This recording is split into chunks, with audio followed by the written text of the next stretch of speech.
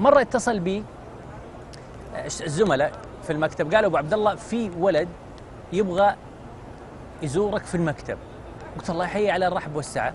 بس استغربت يعني قالوا لي صغير. قلت الله يحيي يعني عادة ما يجي إلا رجل كبير مثلا أو نحن ما عندنا في جدة مثلا برامج أطفال أو نجوم أطفال ممكن هو يأتي بهم. آه، فقلت قلت الله يحيي اتصل علي أو كلم الزملاء قلت خلاص أنا الوقت الفلاني موجود على الرحب والسعة. فجاني في المكتب.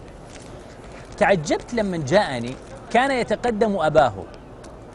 يعني صغير عمره 12 سنة. تسلم الله يحفظه ويتقدم أبوه فأنا صراحة حز في خاطري. يعني كيف؟ الطفل ده أيوه. يجي قدام أبوه ويجي يسلم علي. فسلم علي. قال لي كيف حالك يا سبندر أنا فلان الفلاني. قلت له حياك الله. قال هذا أبويا. فسلم علي أبوه وهز راسه. قلت له كيف حالك طيب؟ وأشر لي بيده. فعرفت إنه أبوه سبحان الله. صم أي أصم. لا يتكلم. فرحبت فيهم وقلت له قول لابوك إني أنا صراحة سعيد جدا بجيته لنا. فقام يشرح لأبوه إنه كذا. ابوه مرة انبسط قال وأنا بالعكس أنا بكم أسعد. فقلت له تفضل عندي المكتب.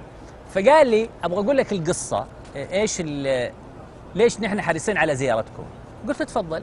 قال أبويا لما تزوج آه، أمي يبدو أن أمه كذلك صماء. صماء.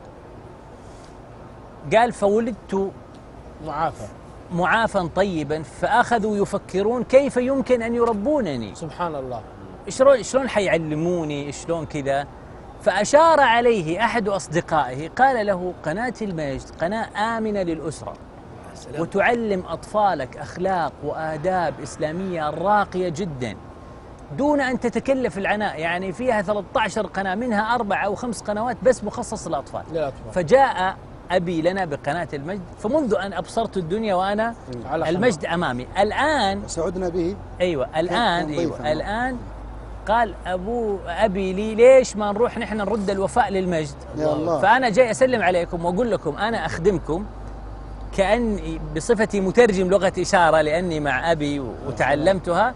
في أي برنامج من برامج الأطفال ممكن أن أترجم للأطفال. فكان. يشاركنا في بعض البرامج جميل. سبحان الله. يترجم للغة الإشارة. و- فأقول حسن العهد من الإيمان والوفاء مع المجد التي قدمت لنا شيئا كثيرا أن نكون نحن شركاء للمجد في نشر هذه هذه ال- ال- الشبكة المباركة.